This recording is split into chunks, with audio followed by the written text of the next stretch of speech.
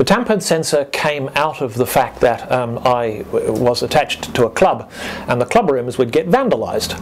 And it reminded me of my favourite statue, which was in a park near where I lived in Sydney many years ago. And it kept getting vandalised, and the council would continuously um, repair this piece of sculpture.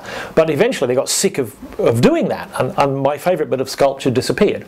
And um, the older um, people may remember when um, car burglar alarms first became a popular idea. Um, uh, you'd get a thunderstorm or a loud noise, and all sorts of car burglar alarms everywhere would go off. And they often went off when the car wasn't being stolen, uh, with the result that nowadays when a car burglar alarm goes off, people hardly raise an eyebrow. And I thought to myself, gee, I wish I had some way of protecting um, monuments, um, heritage listed buildings, that kind of thing, um, where people would pay attention to the alarm. They wouldn't uh, assume it was a false alarm. And so, you know, we thought that would make a, a very fine student project. And um, we'd had some equipment that was ideal for the job. It was serendipity. The idea came together and it worked superbly well. I mean, we, we just couldn't believe how well it worked. We had competitions where we invited people to set this thing off by um, firing shotguns, um, you know, jumping up and down next to it, and we couldn't we couldn't give away thousand dollars for anybody who could set it off accidentally.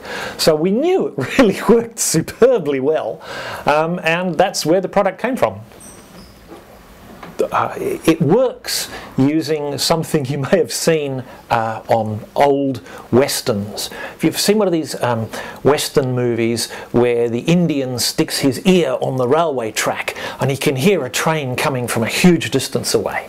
And the idea is that the sound travels far better in the track than it does in the air. And we're using exactly the same principle. So the thing is listening both to the environment, but also it's got its ear pressed against the thing it's trying to protect. And it knows that if there's a tremendous ruckus in the air, that a small amount of sound in the thing it's trying to protect is not a problem. But if it's a quiet evening and there's some serious noise attached to the object, then it probably means there's somebody with a crowbar trying to pry it open or break it off or, or whatever.